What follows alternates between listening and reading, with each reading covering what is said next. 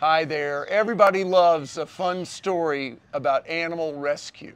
And we have a fun one today. I'm here with Ashley, and she's our expert on apes, including lesser apes like these gibbons. And if this isn't the cutest animal I ever saw, what's his name? This is Kip. Yeah. And how old is he? So he's 10 months old in three days.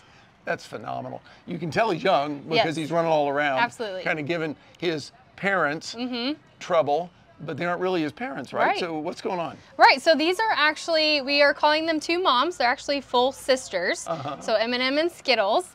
Um, and he's being wild and chasing them around right now. Um, so they actually are his surrogate mom. So he was born at the Dallas Zoo. Yeah. So his real parents unfortunately decided not to care for him. Um, so it sometimes happens among primates Yeah. if they're first-time parents, Sometimes that happens. So we have to intervene and help them out and find a surrogate mom and dad, or sometimes two moms for 'em. Yeah. Now, right now it's obviously working great. They're having fun. They're living here Yeah. together.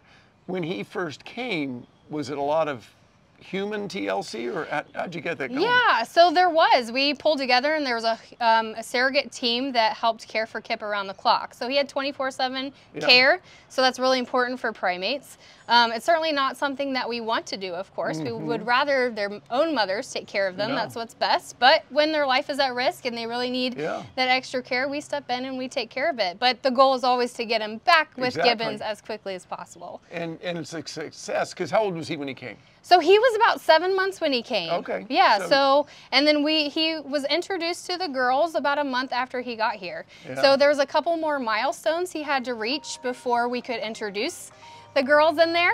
Um, but he immediately started seeing them. He could see them through a howdy mesh wall, Uh-huh. basically, so they could smell each other, touch each other limitedly, um, and we were seeing positive signs Yeah. from the very beginning. So um, it was our job just to observe to see how it was going to work, or if it even was going to work. And thankfully, it has, and they've been together and have been doing great ever since. So Yeah. the day came that we were comfortable to put them together, and about a couple hours afterwards, they were all sleeping together. So we knew at that point it was probably going to work. Yeah. Um, but they did bond up for quite a while behind the scenes, and then just this week we put him out on this habitat. So as you can tell, he's really enjoying himself.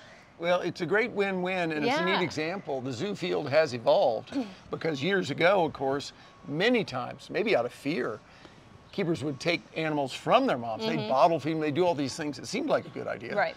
But if you kept them too long, they ended up thinking they were a person Right. and not a gibbon. Yeah. And so to have this so quickly turn around is great. I know you all did that with Gladys famously Yep. 10 years ago, and that worked as well. He's with Yes. a, er, she's with a group, so it's a neat example of zoos cooperating. Absolutely. And say, here's an endangered species. People are trying to breed them, and let's keep it going. Now they are different. He's a white-cheeked Yep, he's a northern white cheek gibbon, and these And- are buff cheek yeah, gibbon Yeah. girls. So long term, who knows? If he stays here, maybe we'll find him a Yeah. mate. But that's yeah. fun. Yeah. So for now, he's doing great, and they're a fun trio.